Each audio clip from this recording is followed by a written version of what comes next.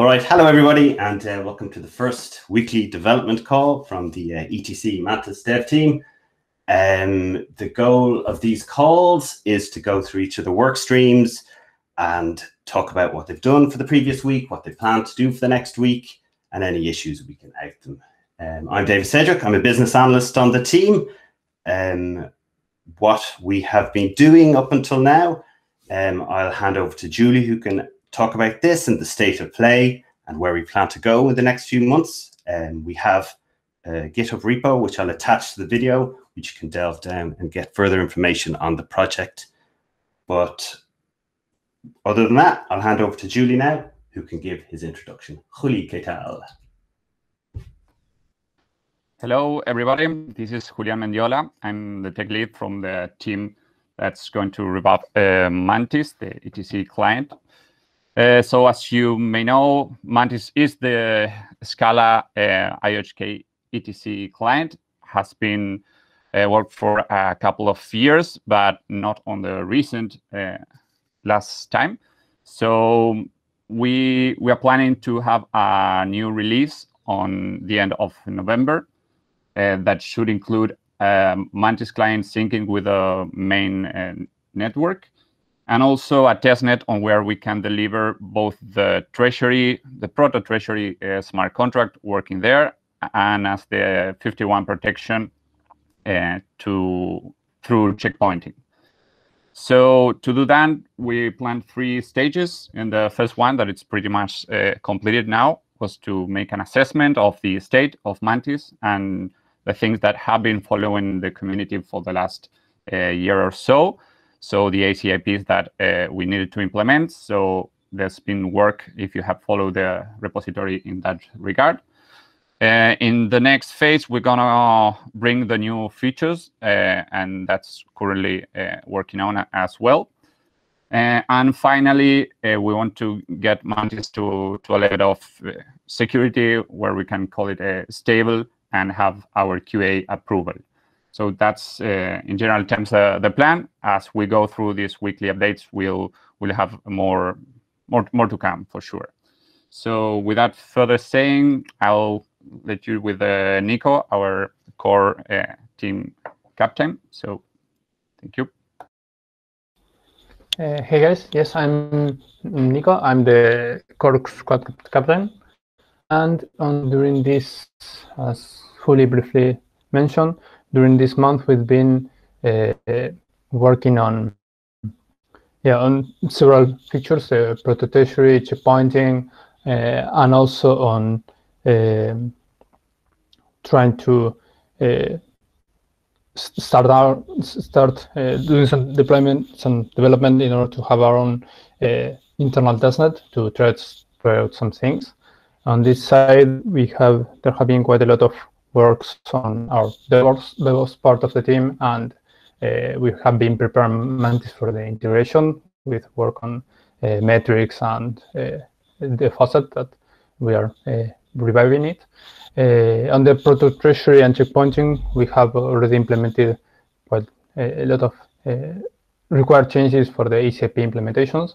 And we are planning to, for this week, continue probably and the uh, developing the proto-treasury uh, protocol changes with some uh, further definitions that we have been discussing, and continue working on on the checkpointing side with some the focusing on the some bumps of some versionings for uh, our OBFT part, which is the, the, the, solution for the 51% attack, and maybe continue iterating all of these the OBFT and our uh, Mantis into the this mini cluster we're starting to uh, to spin up.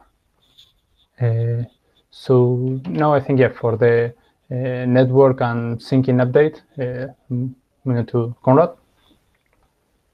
Yep. Hi everyone. Uh, my name is Conrad. I'm a core team developer, mainly responsible for synchronization and networking on uh, Mantis. So for the last few two, three weeks, main kind of main working stream was to implement all missing ECIPs in Mantis to make sure we are compatible with uh, current Ethereum Classic network state. this work has been done, and we are currently testing it uh, by syncing the Mantis to the Ethereum Classic mainnet on EC2 instance. Uh, so that's one thing. And current work streams are for networking is to bring up the full Kademlia mm, Ethereum protocol discovery because uh, Mantis was on, always lacking it. And second part is to improve reliability of our fast syncing because currently it's uh, not working reliably enough to uh, be used as a feature of Mantis. So we need to improve that. Uh, yeah, and I think that's all. I will give up to Andre. Okay. Hey everyone, um, Andre, um, Wallet Squad uh, captain.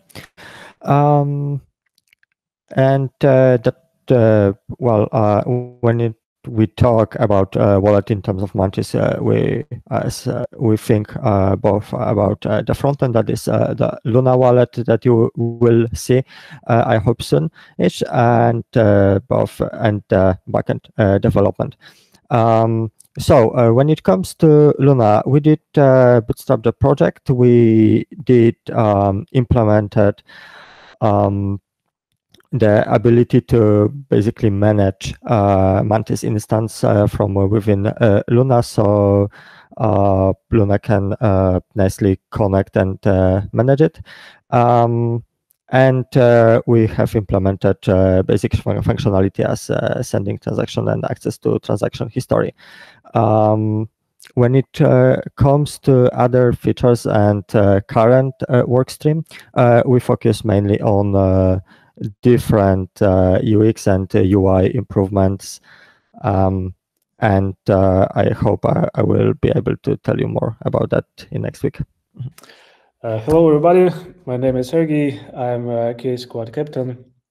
And uh, during the uh, last two weeks, our team was preparing the testing plan of the features that we were going to implement uh, we also started creating the test cases uh, as well as uh, uh we prepared the scripts uh, in order to spin up our uh, local environment in order to proceed with the testing. we also was lucky enough to connect the Luna wallet Mantis version to our local network it works fine. So we are finally ready to continue with the manual functional testing of the uh, features that are going to be implemented. Uh, no major blockers so far, and uh, we also are going to work uh, on uh, different tools implementation like uh, network activities generator and probably the Docker helper scripts in, or, in order to help other teammates uh, spin up the uh, network. And this is pretty much it from my side. Thank you. Okay, I think that's pretty much it for this week. Um, thanks for watching. Um, any further information or any questions or issues, you can raise them on our on our GitHub repo. Um, till next week, talk to you and thank you.